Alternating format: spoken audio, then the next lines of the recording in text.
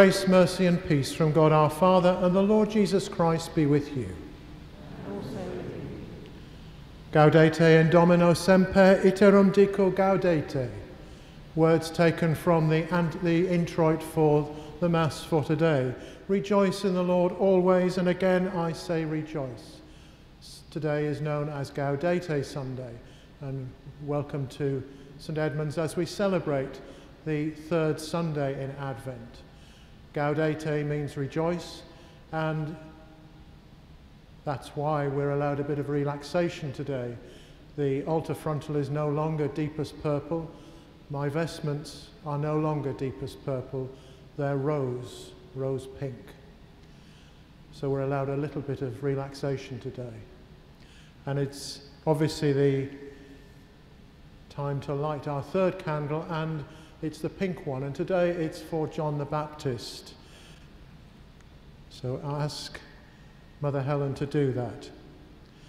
Jesus said, no one, is more, no one more important than John the Baptist has ever been born, yet the least in the kingdom of heaven is greater than he.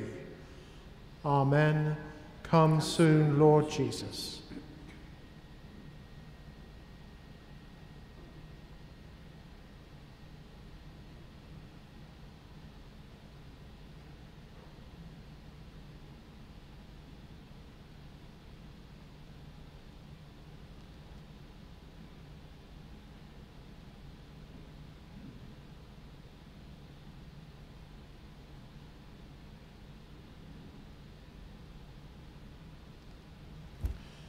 Jesus is the light of the world, a light no darkness can ever put out.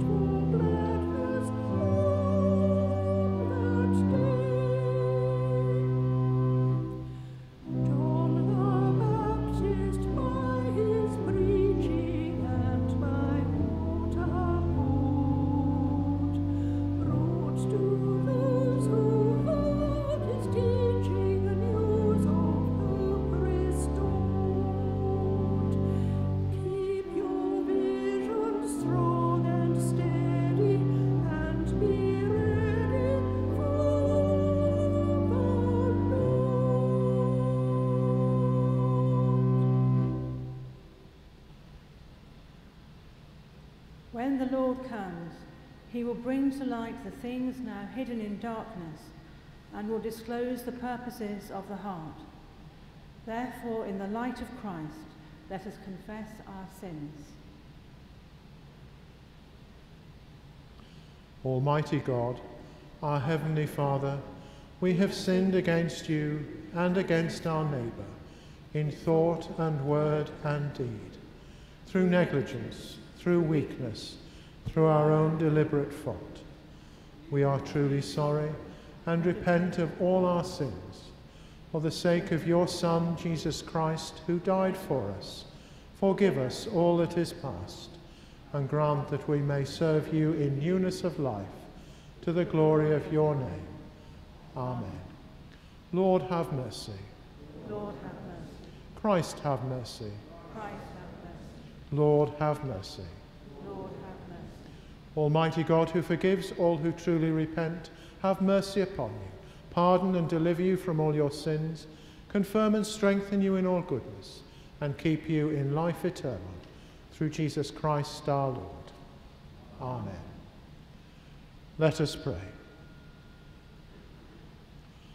O Lord Jesus Christ, who at your first coming sent your messenger to prepare your way before you, grant that the ministers and stewards of your mysteries may likewise so prepare and make ready your way by turning the hearts of the disobedient to the wisdom of the just, that at your second coming to judge the world, we may be found an acceptable people in your sight.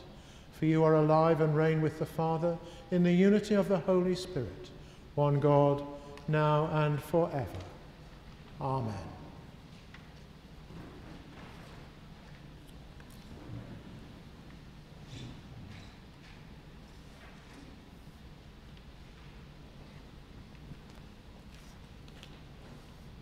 A reading from the prophecy of Isaiah.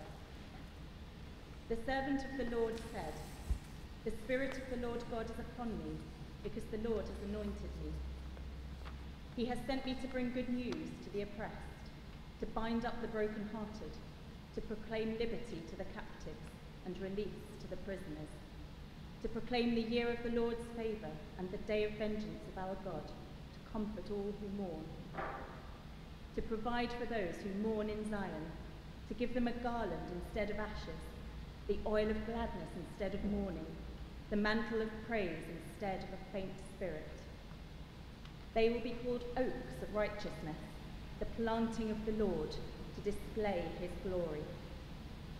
They shall build up the ancient ruins. They shall raise up the former devastations. They shall repair the ruined cities the devastations of many generations. For I, the Lord, love justice. I hate robbery and wrongdoing. I will faithfully give them their recompense, and I will make an everlasting covenant with them.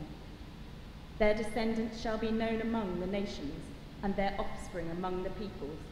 All who see them shall acknowledge that they are a people from whom the Lord has blessed. I will greatly rejoice in the Lord my whole being shall exult in my God. For he has clothed me with the garments of salvation, he has covered me with the robe of righteousness, as a bridegroom decks himself with a garland, and as a bride adorns herself with jewels. For as the earth brings forth its shoots, and as a garden causes what is sown in it to spring up, so the Lord God will cause righteousness and praise to spring up before all the nations. This is the word of the Lord. Thanks be to God.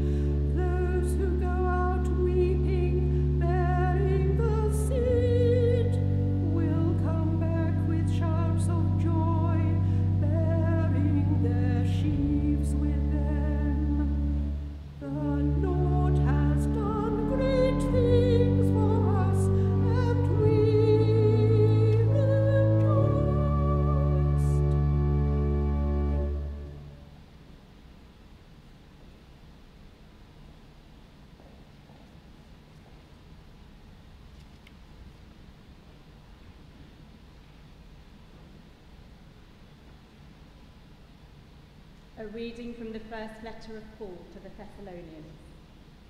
My brothers and sisters, rejoice always. Pray without ceasing. Give thanks in all circumstances. For this is the will of God in Christ Jesus for you. Do not quench the Spirit. Do not despise the words of prophets, but test everything. Hold fast to what is good. Abstain from every form of evil. May the God of peace himself sanctify you entirely, and may your spirit and soul and body be kept sound and blameless at the coming of our Lord Jesus Christ. The one who calls you is faithful, and he will do this. This is the word of the Lord. Thanks be to God.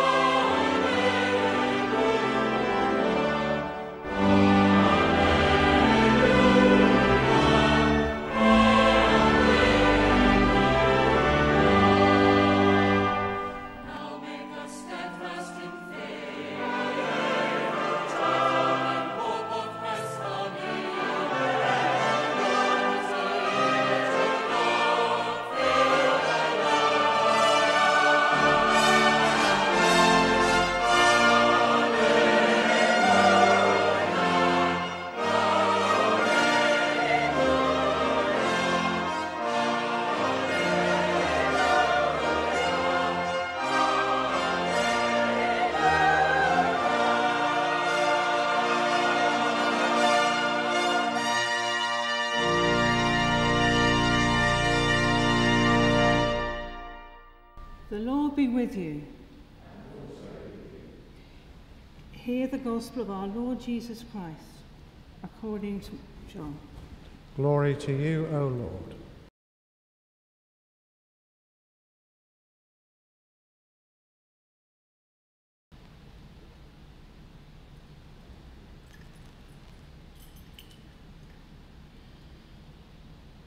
There was a man sent from God whose name was John. He came as a witness to testify to the light, so that all might believe through him. He himself was not the light, but he came to testify to the light. This is the testimony given by John when the Jews sent priests and Levites from Jerusalem to ask him, Who are you? He confessed and did not deny it, but confessed, I am not the Messiah. And they asked him, What then? Are you Elijah? He said, I am not. Are you the prophet? He answered, No. Then they said to him, Who are you? Let us have an answer for those who sent us. What do you say about yourself? He said, I am the voice of one crying out in the wilderness, Make straight the way of the Lord, as the prophet Isaiah said. Now they had been sent from the Pharisees. They asked him, Why then are you baptizing, if you are neither the Messiah, nor Elijah, nor the prophet? John answered them, I baptize with water. Among you stands one, among, whom you do not know, the one who is coming after me. I am not worthy to untie the thong of his sandal. This took place in Bethany across the Jordan, where John was baptizing. This is the gospel of the Lord. Praise to you, O Christ.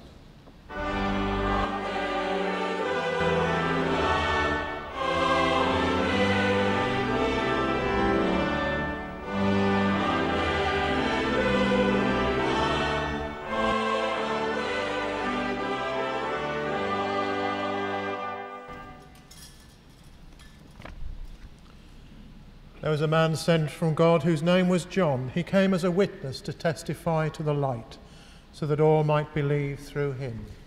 May I speak in the name of the living God, Father, Son, and Holy Spirit. Amen.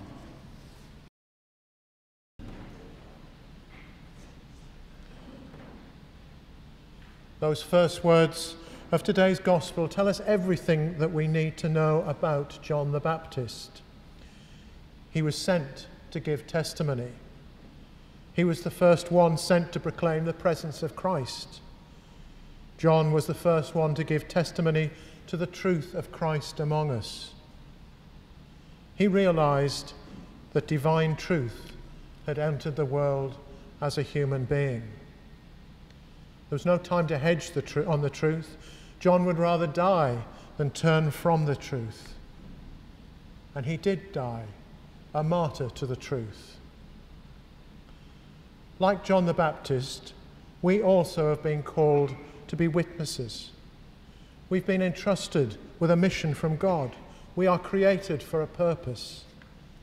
We were given God's life at baptism so we can share his life with others. We are his witnesses. We're called to make the presence of Christ a reality in our world by giving witness to his presence in our own lives. How do we do that? Well, let me tell you about an elderly couple I heard about in China. They were both doctors and they'd met whilst they were studying together at medical school. They fell in love and they married. She was a Christian, he wasn't. And she wanted to convince him that he should join the church, but he just wouldn't get baptized. Shortly after they married, they had a son. But during one of the political movements in China, the husband was arrested along with a number of other intellectuals and sent to a labor camp. Well, the wife struggled with this separation because she had to work long hours at the hospital during the day and then care for her son at night. And as well as being lonely, she was being pressurized by the government to divorce her husband and renounce her religion so she could get political adv- advantages. She refused. Every night, she knelt down with her son and prayed, asking for strength from God to cope with her difficulties. In the late 1970s, she heard that her husband and other intellectuals were going to be released and allowed to come home. And when that day came, she and her son went to the railway station to meet her husband. They were the only family members there to meet the men. All the other women had been unable to put up with the long separation, and they'd all divorced and remarried. The husband was deeply moved by this and immediately took instruction and was later baptized. That woman bore witness to the light just as truly as John the Baptist did. And now it's our turn. For many people in the world today, Christ has become a very distant and dim figure. The words in today's gospel are literally true. Among you stands one whom you do not know. Christ still needs witnesses today, people who can make him present to others. Spiritually speaking, people are living in a world of darkness. Some of you may recognize the words to the Simon and Garfunkel song from the 1970s called The Sound of Silence. Hello, darkness, my old friend. I've come to talk with you again. An accurate description of how many people feel today. They're living in spiritual darkness. They're in need of spiritual illumination, a divine light. I'm sure most of you will, hear, will have heard of Helen Keller, who was an American author, a political activist, and a lecturer. She was both deaf and blind. And she was the first deaf blind person to earn a Bachelor of Arts degree. And she had an amazing teacher called Anne Sullivan who taught her to communicate. And in her autobiography, Helen Keller tells of that dramatic moment when Anne Sullivan first broke through her dark, silent world with the illumination of language. Let me read it to you. We walked down the path to the well house. attracted by the fragrance of the honeysuckle with which it was covered. Someone was drawing water, and my teacher placed my hand under the spout. As the cool stream gushed over one hand, she spelled into the other the word water, first slowly, then rapidly. I stood still, my whole attention fixed upon the motion of her fingers. Suddenly, I felt a misty consciousness, as of something forgotten, a thrill of returning thought. And somehow, the mystery of language was revealed to me. I knew then that W A T E R meant that wonderful cooling something that was flowing over my hand.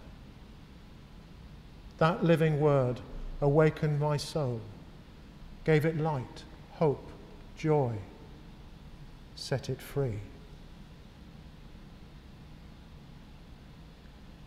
The moment that Helen Keller describes is that moment her world of darkness was shattered with the light of language.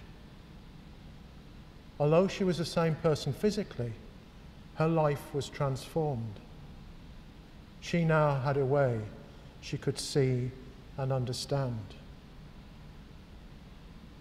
Bringing people to Christ is equally transformative.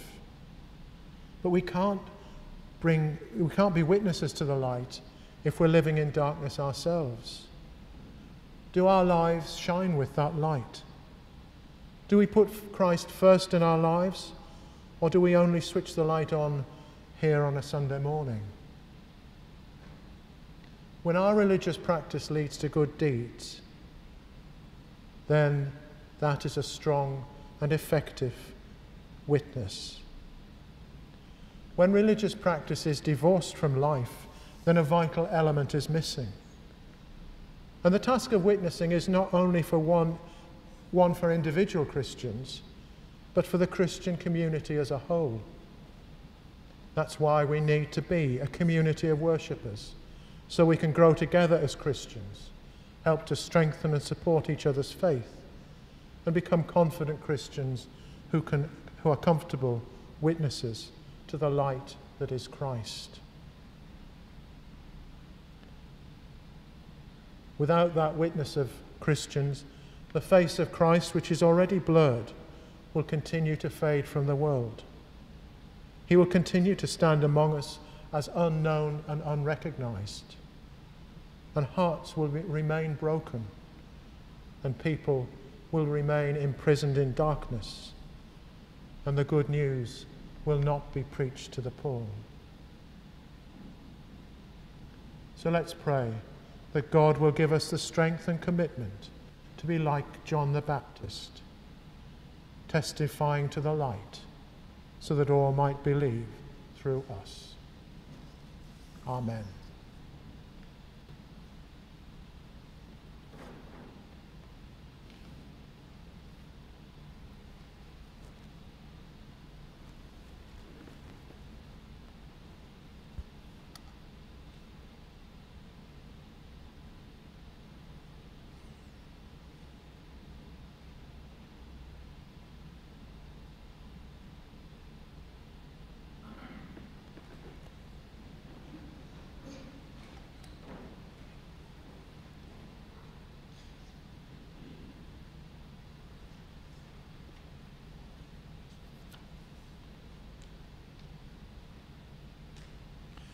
So now let us profess our faith and the faith of the Church in the words of the Creed. We believe in one God, the Father, the Almighty, maker of heaven and earth, of all that is seen and unseen.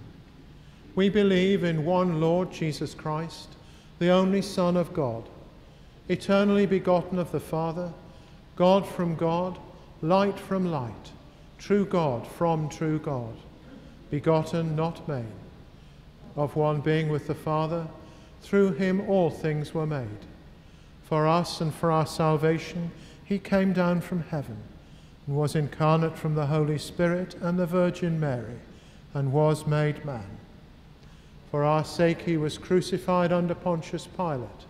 He suffered death and was buried. On the third day he rose again in accordance with the Scriptures. He ascended into heaven and is seated at the right hand of the Father. He will come again in glory to judge the living and the dead, and his kingdom will have no end. We believe in the Holy Spirit, the Lord, the giver of life, who proceeds from the Father and the Son, who with the Father and the Son is worshipped and glorified, who has spoken through the prophets. We believe in one holy, Catholic, and Apostolic Church. We acknowledge one baptism for the forgiveness of sins. We look for the resurrection of the dead and the life of the world to come. Amen.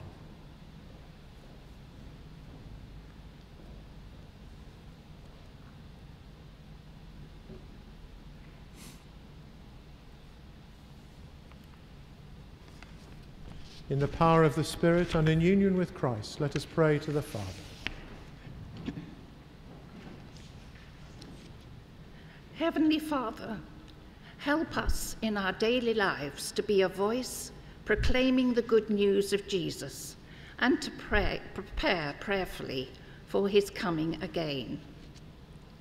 We pray your church will be a beacon of light to all people and welcome the needy and the stranger this Christmas. Lord, hear us. Lord, graciously hear us. We pray for all parishes in the Diocese of London, for all ordained and lay ministers getting ready for the business Christmas busy Christmas season. Guide our Archbishop Justin, Bishop Sarah and Pete, and Archdeacon Catherine in their responsibilities and leadership roles. Lord, hear us. Lord, graciously hear us. We give thanks for scientists who have developed vaccines as a means to end the COVID pandemic. We pray that lower income countries will not be forgotten as the vaccine is rolled out and inequalities in healthcare will be addressed by the world community. Lord, hear us. Lord, graciously hear us. We pray for wisdom for our government as difficult decisions are being made about our country's future. Grant discernment to our local politicians in Hillingdon and Harrow to serve the interests of all residents. We pray for all who live in our parish, for local shops and hospitality venues, serving customers under difficult conditions. Lord, hear us. Lord, graciously hear us. We ask for your blessing upon Jolene Gombaroom, Ruth Luck, and all who celebrate birthdays this coming week. Lord, hear us. Lord, graciously hear us. We pray for all who are in hospital at this time, especially from COVID 19, and patients in intensive care units. Strengthen all medical, nursing, and support staff coping with the pressure of winter admissions.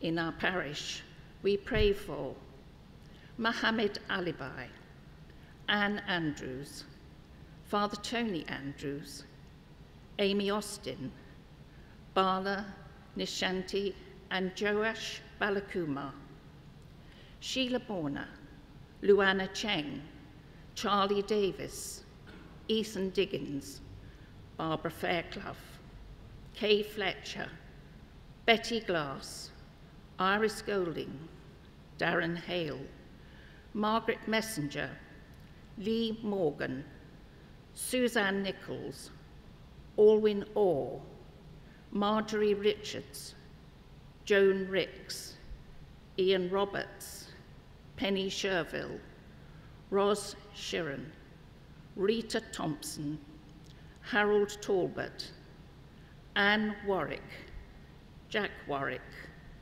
Eileen Worley, Derek Wilkins, Julie Windsor, Nora Wood, Alan Yates, Graham Yates, Bob Young, Kathy Young.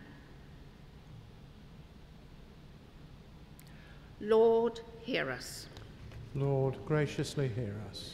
We thank you for the lives of Heidi Chalk, jo- Joyce McLaughlin Williams, and Eileen Izard, who have died recently. Comfort all who mourn with the knowledge their loved ones now rest in your peace.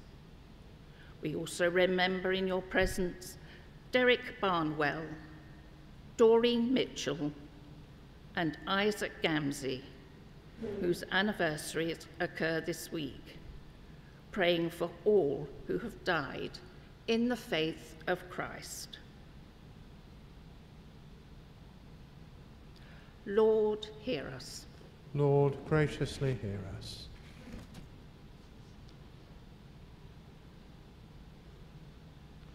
Merciful Father, accept these prayers for the sake of your Son, our Saviour Jesus Christ. Amen. Amen.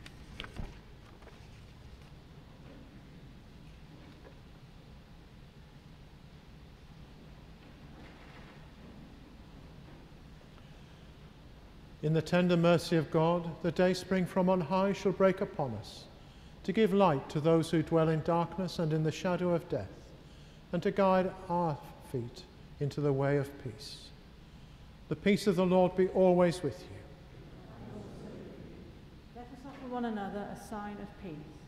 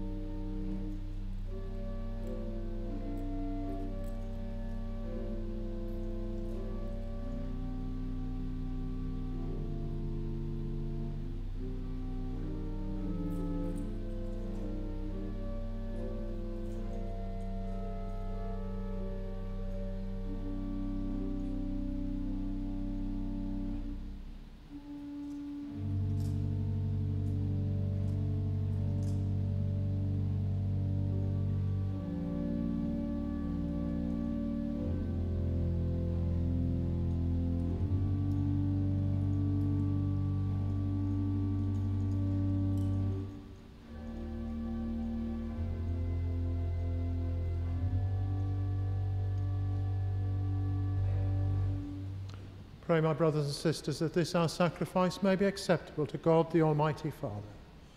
May the Lord accept the sacrifice at my hands for the praise and glory of his name, for our good and the good of all the church. Lord our God, as your servant John the Baptist prepared the way for the coming of your Son, make us your servants ready for his coming in these holy mysteries, who is alive and reigns now and forever. Amen. The Lord be with you. Lift up your hearts. Let us give thanks to the Lord our God. It is indeed right and good to give you thanks and praise, Almighty God and everlasting Father, through Jesus Christ your Son. For when he humbled himself to come among us in human flesh, he fulfilled the plan you formed before the foundation of the world to open for us the way of salvation. Confident that your promise will be fulfilled, we now watch for the day when Christ our Lord will come again in glory.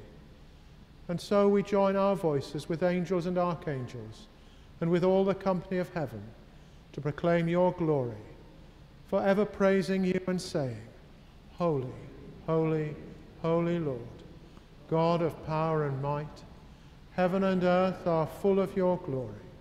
Hosanna in the highest. Blessed is he who comes in the name of the Lord. Hosanna in the highest. Lord, you are holy indeed, the source of all holiness.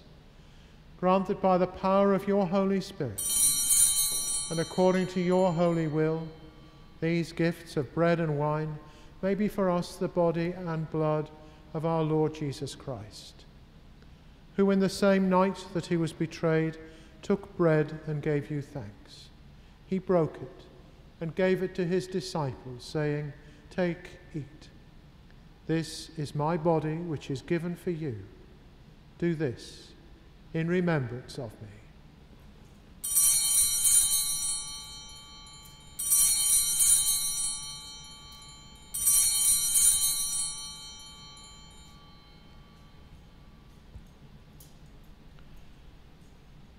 In the same way, after supper, he took the cup and gave you thanks. He gave it to them, saying, Drink this, all of you. This is my blood of the new covenant, which is shed for you and for many for the forgiveness of sins. Do this as often as you drink it, in remembrance of me.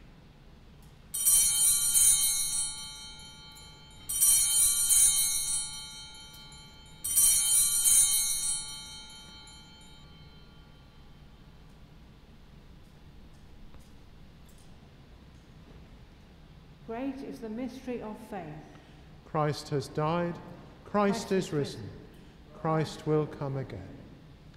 And so, Father, calling to mind his death on the cross, his perfect sacrifice made once for the sins of the whole world, rejoicing in his mighty resurrection and glorious ascension, and looking for his coming in glory, we celebrate this memorial of our redemption.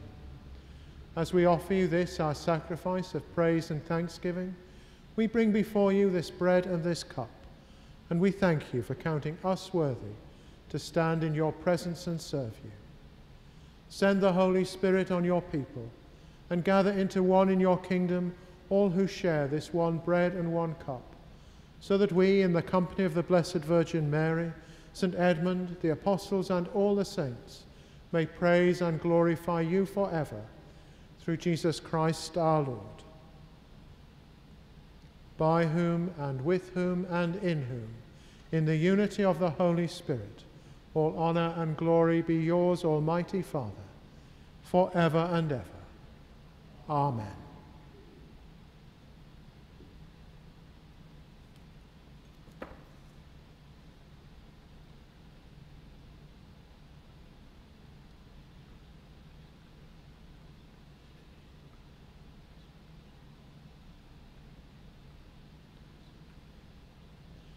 Let us pray for the coming of the kingdom as Jesus taught us. Our Father, who art in heaven, hallowed be thy name. Thy kingdom come, thy will be done on earth as it is in heaven. Give us this day our daily bread, and forgive us our trespasses, as we forgive those who trespass against us. And lead us not into temptation, but deliver us from evil. For thine is the kingdom, the power, and the glory, forever and ever. Amen. We break this bread to share in the body of Christ, though we. May this may move the body and blood of Jesus Christ, bring eternal life to us receive it. Lamb of God, you take away the sin of the world, have mercy on us. Lamb of God, you take away the sin of the world, have mercy on us. Lamb of God, you take away the sin of the world, grant us peace. Behold, the Lamb of God who takes away the sin of the world. Blessed are those who are called to his supper. Lord, I am not worthy to receive you, but only say the word, and I shall be healed.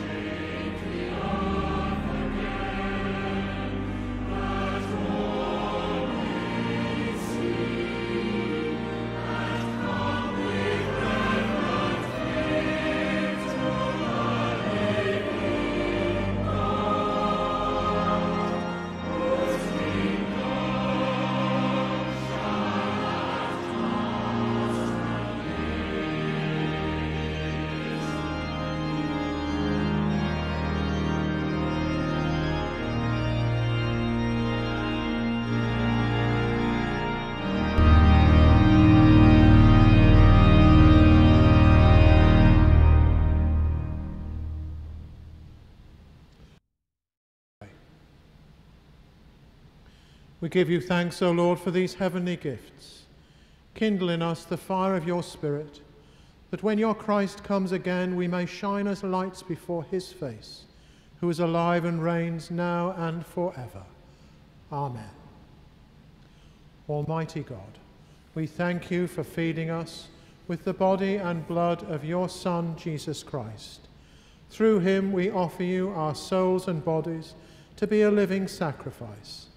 Send us out into the power of your Spirit to live and work to your praise and glory. Amen. Please be seated.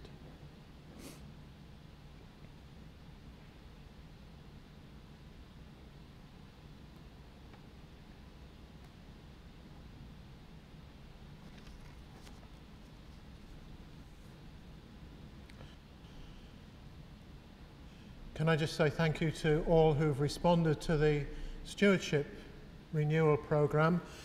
There is still time to return your pledge forms, even if you can't join the scheme or if you can't increase or change what you're giving.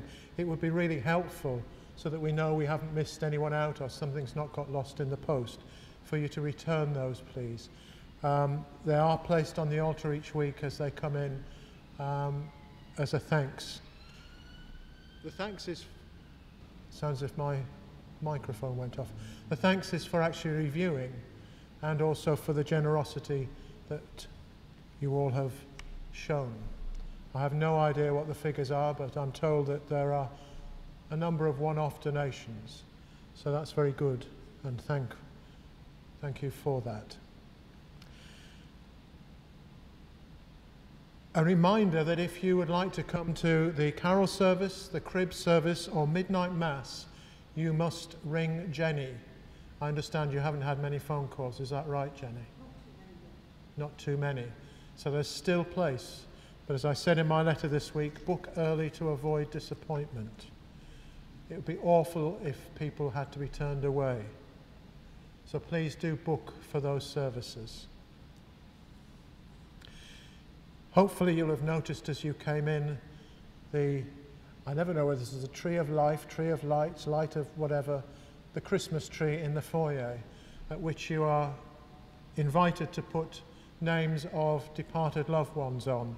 Unfortunately, we can't allow you to do that yourself for um, obvious reasons. So if you'd like a name to go on there, then please ring Marjorie. Her details are in the newsletter this week, as are Jenny's details so that if you haven't booked your place or you haven't given your details to Marjorie to hang on the tree, then please do so. Eucharist will be celebrated this week on Tuesday at 6 pm, Wednesday at 6 pm, Thursday at 10 am. Thursday will be will not be on YouTube, it will be on Zoom. So you need to book into Zoom. So it'll be more of a, a virtual congregation. I will able to be able to see little bits of you on there. So please get there early so you know what go, what's going on. And that immediately is followed by the coffee morning. So there's no wait. Friday the Eucharist is at 11 and Saturday at 10:30. And the next Sunday is the fourth Sunday in Advent, the last Sunday of Advent, Eucharist at, Parish Eucharist at 10, and the carol service at 4. Is it? Oh, right, 6.30. I would have been here very early for that. I thought we had it at 4. I don't know why 4 stuck in my mind. I'm glad I said that, so now I know. I'd have been wondering where everyone was. Have a great week do please stay safe.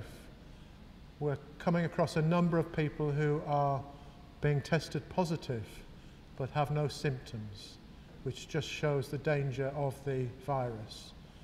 I know of at least five people who are suffering, who are positive but not having any symptoms. So be careful. We don't want our congregation depleted on that happy note, would you please stand for the parish prayer and blessing?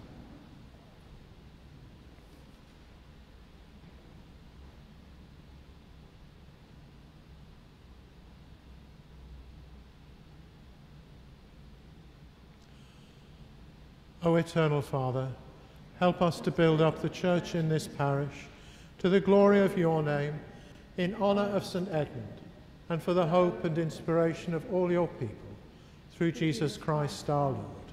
Amen. The Lord be with you. Bow your head and pray for God's blessing. Christ, the Sun of Righteousness, shine upon you. Scatter the darkness from before your path and make you ready to meet him when he comes in glory. And the blessing of God Almighty, the Father, the Son, and the Holy Spirit be with you and remain with you always. Amen. Go in the peace of Christ. Thanks be to God.